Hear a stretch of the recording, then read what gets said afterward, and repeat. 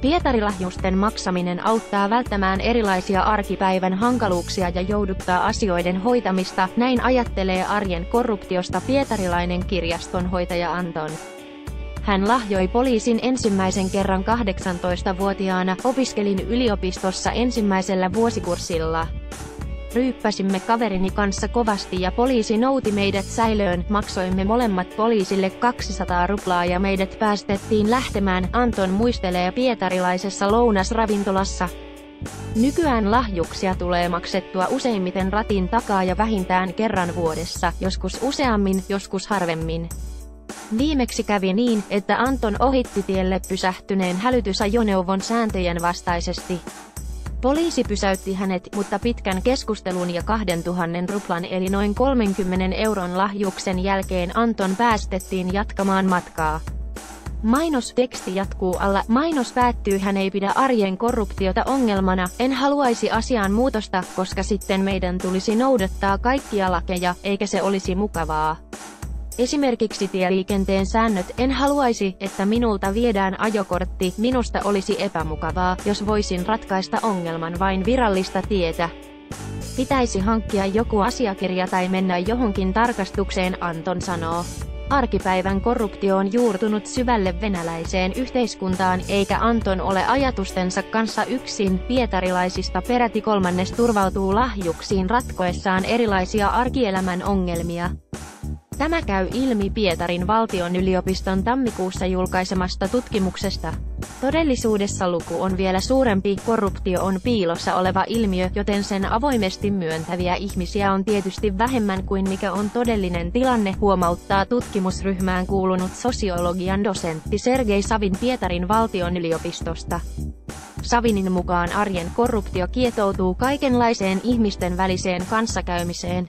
Siinä ei ole kyse suurista lainrikkomuksista, vaan arjen sujuvoittamisesta. Halutaan, että lapsi pääsisi laadukkaaseen päiväkotiin, joka on lähellä kotia.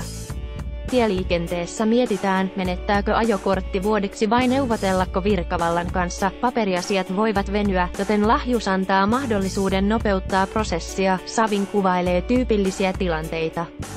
Ajankohtainen arjen ongelma on lumisten katujen kunnossapito.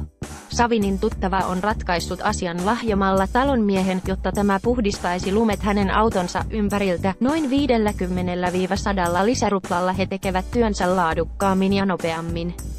Lahjukset kannustavat sillä tavalla, Savin selittää, yleensä arkikorruption lahjussummat liikkuvat Savinin mukaan 1000 ja 5000 ruplan eli suunnilleen 15-70 euron välillä.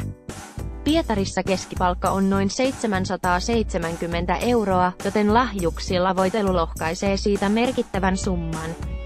Lahjontatapauksista 60 prosenttia on Savinin mukaan sellaisia, joissa virkamies tai muu taho antaa ymmärtää, että asioinnin nopeuttamiseksi kannattaisi maksaa ylimääräistä. Kansalainen ehdottaa itse lahjusta 40 prosentissa tapauksista.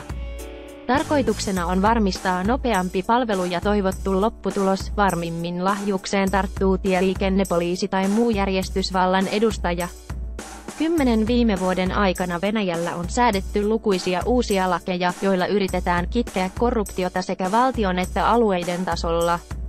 Savinin mielestä vallanpitäjien korruption vastainen taistelu on osin näytösluontoista, ainakin lakien yhteiskunnallinen vaikutus on jäänyt toistaiseksi ohueksi. Hän arvioi, että arjen korruptio on Venäjällä kuluneen vuoden aikana hieman vähentynyt, mutta kokonaisuudessaan Venäjä on entistä korruptoituneempi. Taloudessa korruptio on lisääntynyt ja lahjusten määrä kasvanut arkikorruptiota ovat hillinneet erilaiset virallisesti maksulliset palvelut.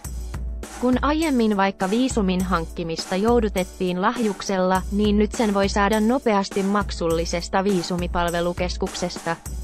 Myös paperiasioiden keskittäminen monitoimikeskuksiin on hieman keventänyt asiointia. Yhden ikkunan teknologia on vähentänyt korruptiota kunnallishallinnossa, jossa käsitellään asiakirjoja, Savin esittelee. Näkyvimmin korruptiota on yrittänyt kitkeä oppositio, jonka järjestämissä mielenosoituksissa on marssinut erityisen paljon nuoria. Yliopiston tutkimuksessakin kävi ilmi, että juuri nuoret suhtautuvat korruptioon kaikkein kielteisemmin. Yksi syy on se, että he eivät ole vielä törmänneet korruptioon. Heille on normi olla antamatta lahjuksia, tutkimusryhmään kuuluva maisteriopiskelija Jekaterina Kovtun sanoo. Savin pitää nykynuoria yhteiskunnallisesti aktiivisempina kuin vanhempia sukupolvia. Myös matkailu- ja kulttuurivaihto lännessä vaikuttavat ajatteluun, jos sama kehitys jatkuu, muuttuu koko yhteiskunta vähitellen, hän uskoo. Toistaiseksi lahjukset kuuluvat edelleen arjen selviytymiskeinoihin, tutkijat tuntevat aiheensa omakohtaisesti. Molemmilla on ollut perheessä tilanne, jossa terveydenhuoltohenkilökuntaa on tullut kiitettyä lahjuksella, sairaanhoitajat antavat enemmän huomiota ja käyvät useammin.